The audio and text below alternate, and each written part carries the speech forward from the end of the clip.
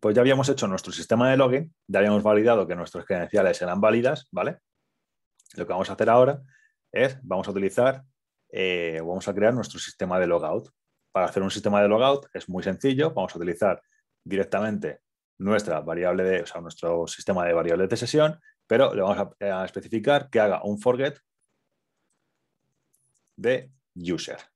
¿Vale? En el momento en el que haga un forget de user, aquí tenemos dos opciones. Podemos hacer un return redirect back o, lo que me parece eh, más coherente, hacer un return redirect home. ¿Vale? Return redirect home. Y ahora en, mi, en, mi, en mis vistas voy a crear un nuevo archivo, bueno, más que un nuevo archivo, perdón, vamos a crear primero una nueva carpeta y vamos a llamar a esto, eh, vamos a poner, yo que sé, panel, ¿vale? Y entonces el panel, vamos a crearle aquí una parte que sea index.late.php y vamos a hacer a href root logout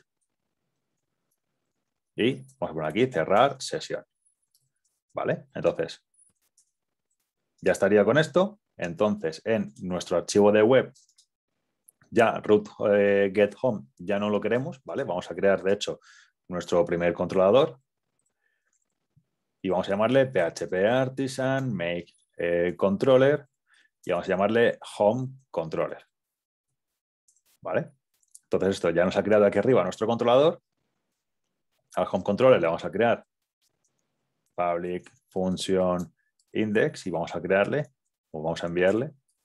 Más bien vamos a, recuperar return view y vamos a llamar aquí a la vista de home, pero recordemos que home está dentro de panel, ¿vale? Por lo cual panel.home. En este caso, eh, bueno, ya estaría, habría que terminar de declarar primero aquí arriba tenemos que crear el home controller y segundo, aquí debajo, en vez de tener toda esta función, todo esto de aquí, Vamos a eliminarlo y vamos a hacer coma, class y vamos a decir que esto vaya index a index.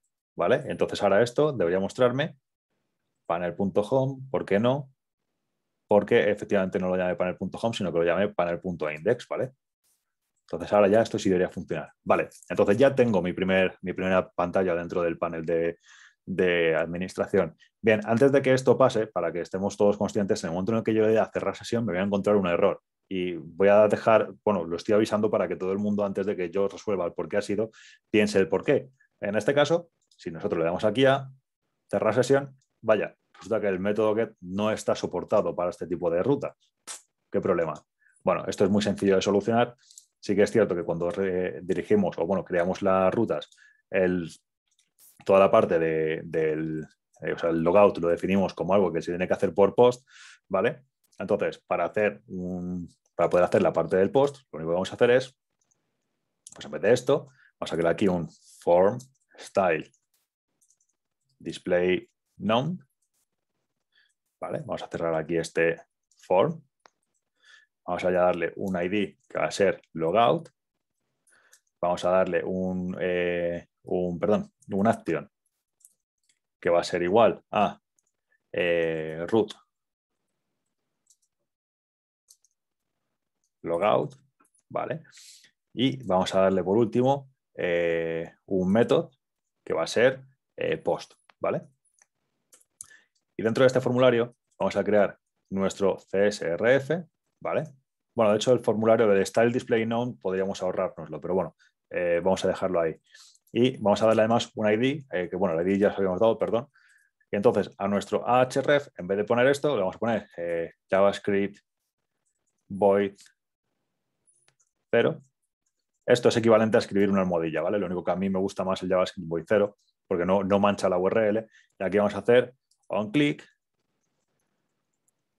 Vamos a poner document.getElement by ID, que esto es JavaScript. Vamos a decir logout. Vamos aquí poner submit. ¿Vale? Entonces ahora nosotros vamos a volver otra vez a home y de esta manera ya me ha llevado otra vez al formulario, de login. Vale, antes de nada, vamos a, ver, a volver a entrar otra vez dentro de nuestro panel y por qué hemos hecho esto de esta manera, por qué no hemos hecho directamente que el, método form sea de tipo get.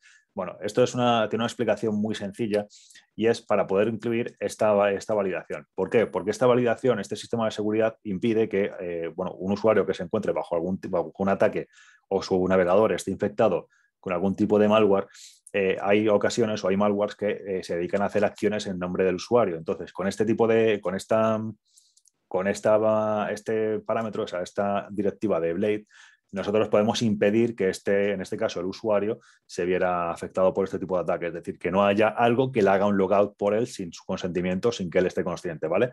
Por eso se ha hecho de esta manera. Y por eso estamos utilizando un logout con un método post.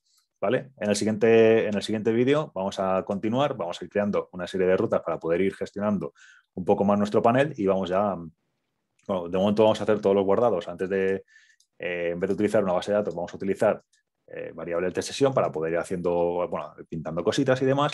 Y luego ya migraremos todo eso más adelante, cuando toque, bueno, dentro de la, la, lección correspondiente, pues ya lo migraremos a una base de datos.